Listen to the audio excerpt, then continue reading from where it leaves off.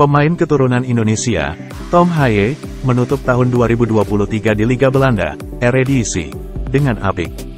Haye musim ini bermain untuk tim kasta pertama Liga Belanda, SC Heerenveen. Dia tercatat sudah berlaga dalam 14 pertandingan dengan menyumbangkan 2 gol dan 1 asis.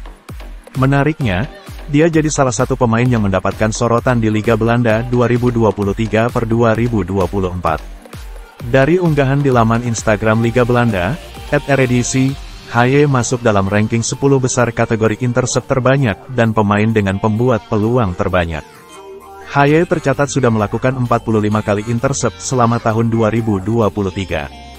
Bertugas sebagai gelandang bertahan, dia jadi salah satu pemain yang memotong umpan lawan.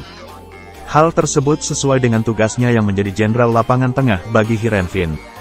Pemain berjuluk The Professor mencatatkan 66 peluang selama 2023. Dia bahkan masuk di ranking 4 pembuat peluang terbanyak. Statistik ini tentu jadi kabar baik karena dia bisa jadi pembeda di lapangan. Apalagi, Haye diproyeksikan sebagai pemain timnas Indonesia. Sementara itu, Sintayong cukup terbuka saat Haye suatu saat bersedia membela skuad Garuda.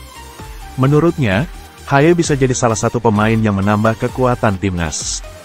Selain itu, mereka saat ini sedang bermain di kualifikasi Piala Dunia 2026.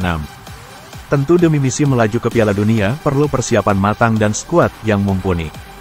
Jika benar-benar bergabung maka lini tengah saat ini akan semakin banyak opsi setelah diisi oleh Ivar Jenner, Mark Klok, dan Ricky Kambuaya. Namun, sejauh ini belum ada langkah pasti untuk membawa Haye menjadi WNI. Pemain-pemain itu ada darah Indonesia.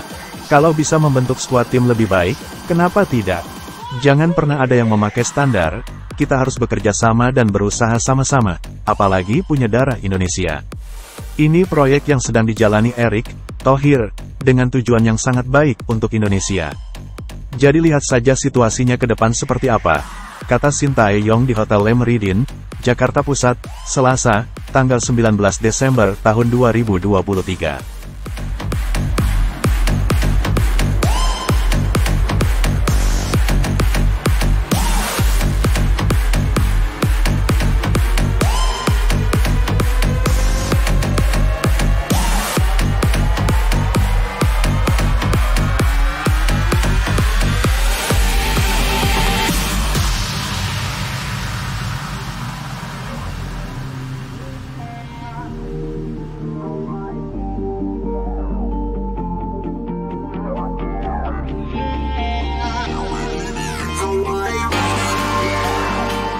Download Tribun X sekarang.